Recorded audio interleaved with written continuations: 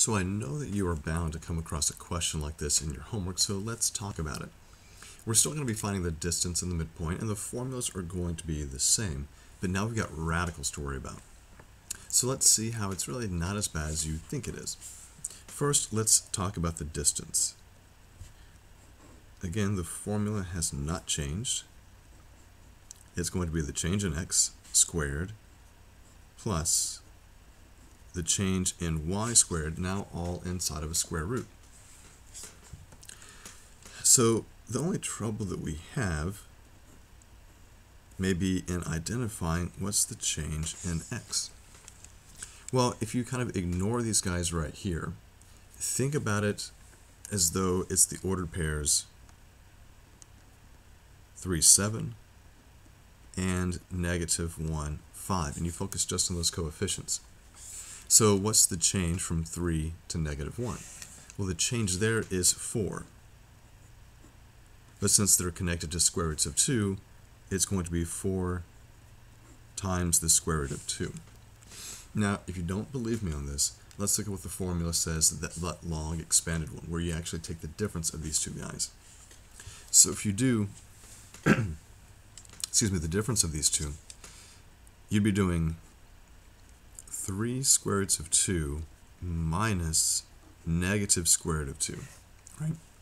Which gives us 3 square roots of 2 that becomes plus the square root of 2, and you find that that difference is 4 square roots of 2. So you can kind of ignore the radicals as long as they're the same, work on the difference of the coefficients, and then bring the radical part back into the problem. Same thing for the change in y. So what's the change in these two guys? Maybe kind of crazy, but look at this. What's the change from 7 to 5? The change is 2. So this is going to be 2 square roots of 3. So the difference in the coefficients is 2, and you bring along those coefficients. So it's 2 square roots of 3. Now we just have to work out this radical. Now this is not the most fun thing we've ever seen, but it is going to work out okay. When you square this, let's do it piece at a time. You square the 4 to get 16. You square the square root here to give you 2. So it's going to be 16 times 2. And then plus square the 2 to get 4. Square the square root to get 3. So since this is a product, when you raise it to a power, you just raise each factor to that power. And now let's clean this up. 16 times 2 is 32. 4 times 2 is 12. Putting these guys together, we get 44 inside the square root, and we want to try to simplify this. And 44 is going to break down as the square root of 4 times the square root of 11. Say what that guy equals. The square root of 4 equals 2. Show it like that so that when it comes to your final simplified answer, you know that 2 is outside the radical and you still have the square root of 11. So this is your distance. The radicals add an extra layer of difficulty, but it's really not all that bad.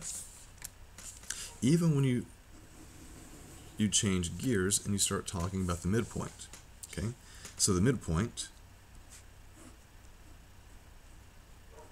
is still the average of the x coordinates and then the average of the y coordinates.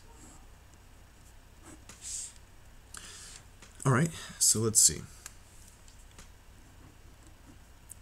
If I take the average of the x's, so I'm going to take 3 square roots of 2 minus the square root of 2 because I'm just taking these guys exactly as I see them to combine them divide by 2, and then for the y's, I have 7 square roots of 3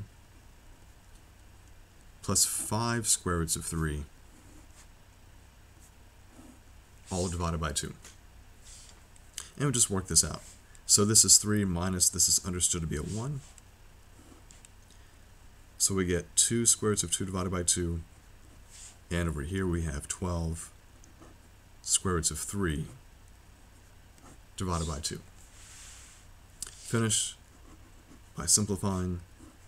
we end up with the square root of 2, because 2 divided by 2 is 1, and 12 divided by 2 is 6, we get 6 times the square root of 3.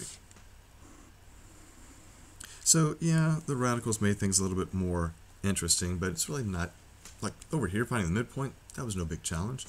The big problem was finding the distance, and so you find the difference between their coefficients, so the difference between 3 and negative 1 is 4, the difference between 7 and 5 is 2, and then you brought along their corresponding radical pieces, and you work it out. So try that problem in the homework.